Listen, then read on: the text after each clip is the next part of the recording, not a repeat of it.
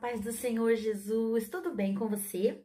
Eu espero que esteja tudo bem. Para quem não me conhece, eu sou a professora Dalila e hoje vamos aprender mais uma vez uma aula da nossa escola bíblica dominical. Olha só, já estamos na lição número 12. Olha como passou super rápido, não é verdade? Já está terminando a revista e vamos iniciar uma nova revista. E eu já quero convidar você, caso você ainda não esteja frequentando a escola bíblica dominical presencial na sua igreja, você está super convidado para participar. Você vai ganhar a revista nova, onde vai ter vários conteúdos que você vai aprender junto com os amigos, com a professora. Vai ter atividades, dinâmica, é super legal. Você acorda cedo, a escola dominical começa às 8 e meia da manhã todos os domingos. Então você acorda, toma um café com leite bem gostoso, vai para a igreja, não esquece de levar a Bíblia, você estuda, aprende e aí você volta para casa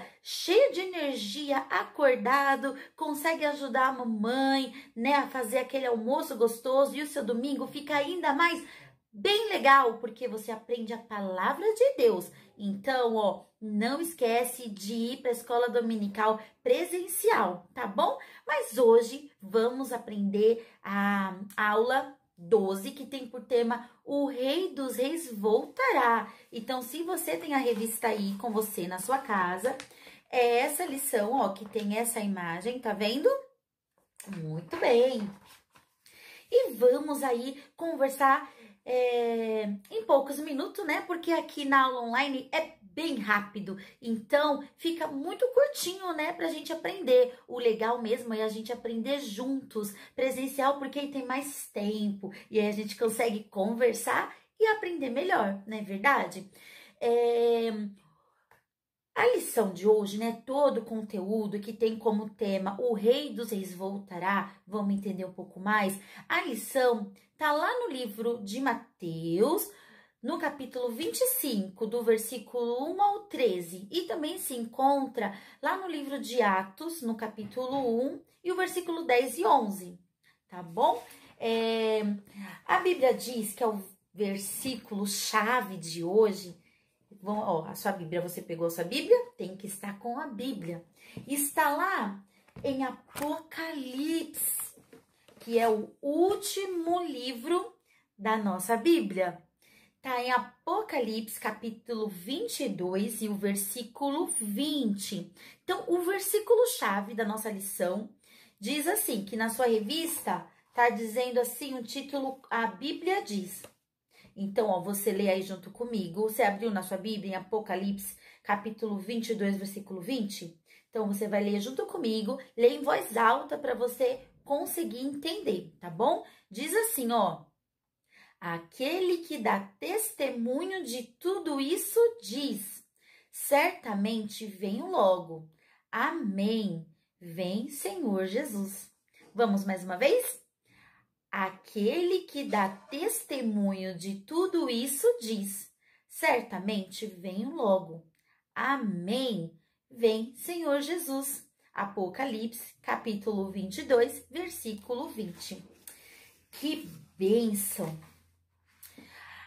Lição diz: o Rei dos Reis voltará. Quem é esse Rei dos Reis? Você sabe? É Jesus Cristo, exatamente. Nesta revista aí, aos longos dos domingos que passaram, nós estudamos sobre Jesus Cristo, a sua história, a sua trajetória aqui na Terra e a sua morte também, a sua ressurreição, né? E aí ele subiu ao céu. E aí ele fez uma promessa que ele voltaria, exatamente, e ele vai voltar. A sua vinda, né, a sua segunda vinda, se chama arrebatamento. Você já ouviu essa palavra? Pois é, o arrebatamento vai acontecer, exatamente. Ele não é uma história história que as pessoas contam, né? Aí todo mundo conta, fala assim: ó, oh, professora Dalila, a minha avó conta isso há muito tempo e nunca aconteceu. Ah, eu acho que não vai acontecer. Não pense assim. O arrebatamento, ele é de verdade. É, e vai acontecer em breve. Nós não sabemos o dia nem a hora que vai acontecer. Porém, ele vai acontecer. E nós precisamos estar preparado. É, nós, pré-adolescente, né? Eu já fui pré-adolescente, agora eu tô um pouco crescidinha, mas eu já fui. Você, como pré-adolescente, você deve pensar, planejar todo o seu futuro, né? Ah, o que eu vou estudar, que carro eu vou comprar, com quem eu vou namorar, né? São tantas coisas que a gente acaba tendo que pensar, planejar e aí a nossa cabeça fica um turbilhão. Essas coisas é insaudáveis a gente pensar. É muito importante, inclusive, né? Porque estamos aqui na Terra, estamos vivendo. Não sabemos o dia que Jesus voltará, que vai acontecer o arrebatamento. Porém, enquanto não acontece, você deve sim planejar a sua vida de forma sábia. Não é verdade? Então, é importante, faz parte da vida e é saudável. Porém, tudo que a gente pensa, que a gente planeja, né? Ter carro, ter casa, ter um bom trabalho, é, trabalhar na igreja, que é importante. Tudo que a gente planeja, nada se compara ao que Deus tem preparado para todos nós, exatamente. Quando o arrebatamento acontecer, quando Jesus voltar pela segunda vez aqui para resgatar a igreja e levar para o céu, lá no céu tem coisas lindas reservadas para todos nós coisas que a gente nem imagina. Se tem coisas aqui na Terra que são tão legais, que a gente sonha, que a gente almeja, não é verdade? Tem aquele aquele carro super da hora que fala assim, nossa, aquele carro é show, eu quero muito, tão bonito. No céu é muito mais né? Tem coisas lindas. No céu não tem carro, né? Eu só fiz uma comparação para você entender aí que no céu as coisas é muito além do que a gente imagina. Muito além do que a gente merece. Deus tem preparado para todos aqueles que se afastam do pecado, que procura se santificar, que procura agradar a Deus todos os dias. Deus tem preparado coisas maravilhosas. E aí nós nunca podemos esquecer que nós estamos aqui nesse planeta Terra, mas nós não somos daqui. Nós estamos aqui por passagem, nós somos estrangeiros.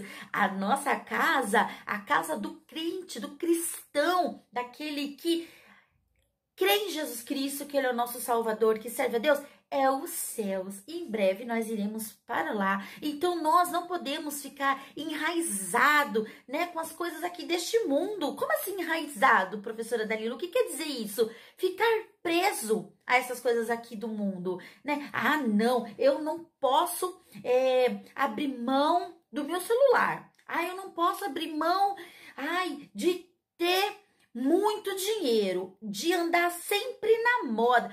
Essas coisas são muito superficiais, né? São coisas aqui da terra, né? São materiais que o que acontece que está escrito na palavra de Deus que a traça corrói, né? Que a traça come. Isso se acaba. Porém, as coisas que Deus tem reservado para nós nunca se acaba, são eternas. Nem uma traça, nem um bicho, nada, né? nem a barata, nada come, nada destrói.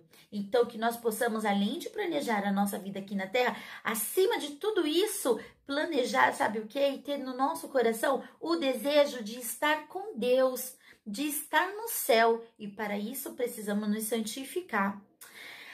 A segunda vinda de Cristo, vocês sabiam, é uma curiosidade bíblica para quem gosta de ler a palavra de Deus. Diz na, na Bíblia, lá no Novo Testamento, a segunda vinda de Cristo, ela é mencionada, sabe quantas vezes? Mais de 300 vezes, olha só. Então é um episódio muito legal, muito importante. É... Aí você me pergunta, Professora Dalila, quando será? Quando vai acontecer? Não sabemos. Essa resposta eu não tenho para te passar.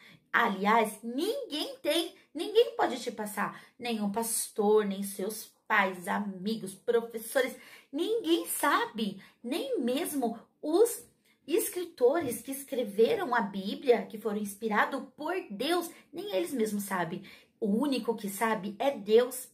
E essa data oculta faz parte de um plano sábio de Deus. Já pensou se você soubesse a data exata que você vai morrer? Você ficaria super maluco, não ficaria? Ai, eu vou morrer tal data. Você ficaria tão perturbado que você não conseguiria fazer nada. Você não ia nem conseguir viver. né? Porque você ia ficar pensando nessa, nessa, nesse momento. Então, é uma data que ninguém sabe, será surpresa. Por isso que precisamos estar preparados. E a segunda vida de Cristo, a Sagradas Escritura Bíblica, né? A palavra de Deus, ela revela que vai, ela vai acontecer, né? Esse momento vai acontecer.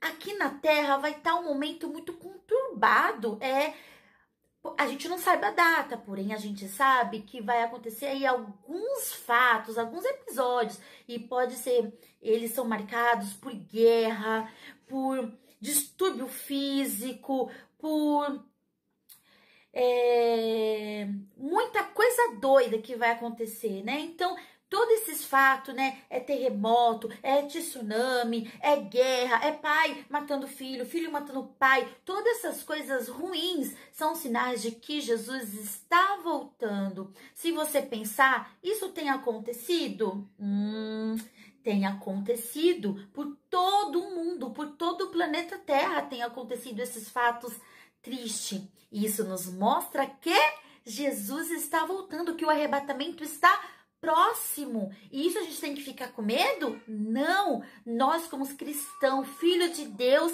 temos que ficar alegre, porque o arrebatamento está se aproximando. Então, com isso, devemos ficar esperto e nos preparar.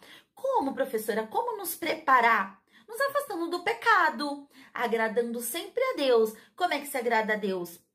lendo a Bíblia, orando, evitando de fazer coisas erradas. Se você fez alguma coisa que entristeceu a Deus, né, desobedeceu o pai, mentiu, né, você pegou alguma coisa que não era sua, brigou com alguém, entristeceu o coração de alguma pessoa. Às vezes a gente faz isso no dia a dia, né? O que, que você faz? Imediatamente ora, conversa com Deus e pede perdão. E Deus certamente vai te perdoar, porque Deus sempre está disposto a perdoar todos aqueles que desejam seu perdão. Deus jamais abre mão daquele que conversa com Deus pedindo, Senhor, me perdoa pelaquilo que eu fiz. Jamais ele vai te abandonar. Ele sempre está de braços abertos para te abraçar, te perdoar e trazer você pertinho dele. Que coisa maravilhosa, não é verdade? A Bíblia revela que o arrebatamento será como a história da Arca de Noé. Você lembra? Naquela época, as pessoas estavam naquela bagunça, brigando, roubando, aquela confusão. E o que aconteceu? Jesus, Deus, avisou a Noé para construir uma arca e entrar a sua família e todos os animais. Que o que aconteceria? Ia chover e quem não tivesse na arca ia morrer. E foi o que aconteceu.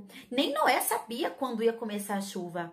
E começou, e a sua família e os animais estavam na arca, eles foram salvos. O arrebatamento será assim. Aqueles que tiverem preparado será arrebatado e vai subir com Deus para o céu. Agora aqueles que não tiver, que achar que arrebatamento é uma historinha, é mentira, de que não vai acontecer nada disso.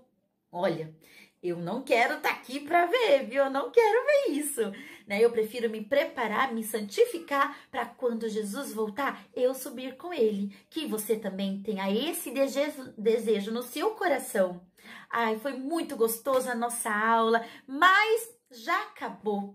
É muito rápido, não é verdade? Eu espero que você tenha gostado muito, que você tenha aprendido a palavra de Deus e ó, não se esqueça de comparecer na nossa escola bíblica dominical presencial. Se na sua igreja também tem, vai, participa, vai ser muito legal. Um beijo e um abraço bem apertado. Tchau!